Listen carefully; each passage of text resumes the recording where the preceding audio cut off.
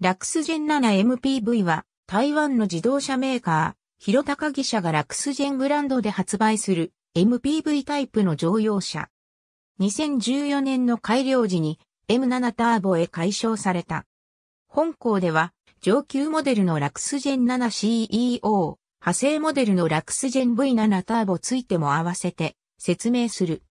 広高技社は2009年に独自のプレミアムブランドであるラクスジェンを立ち上げ、7MPV は同年9月にブランド第1号モデルとして登場した。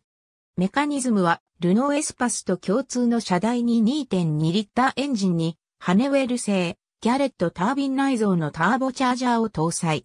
トランスミッションはアイシンオータムウィンター製5速 AT。内装では HTG と共同開発したカーパソコン、ラグジアガンシンクシステムや JBL 製スピーカーを搭載。電気自動車となるラグジアガン M7EV の開発も進められ、企業や自治体向けにリース販売されている。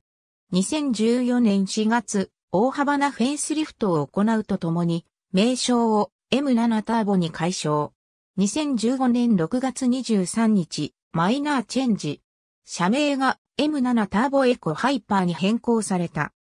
エンジンは排気量こそ2.2リットルに変わりはないが、ロングストローク化による出力と燃費向上の両立を実現させている。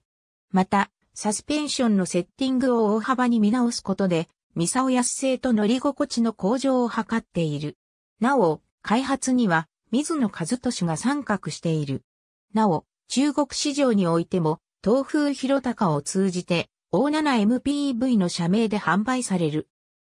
7MPV の上級モデルでメカニズムは共通だが定員は4人。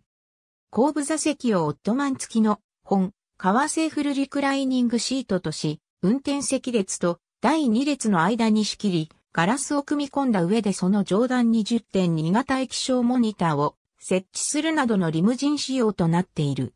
台湾仕様はマイナーチェンジで生産を終了したが、中国市場においては引き続きマスター CEO の社名で販売される。2016年5月、M7 ターボをベースに、スロープとハイルーフを標準装備し、車椅子のままでの乗車を可能とした V7 ターボを発表し、販売を開始した。ありがとうございます。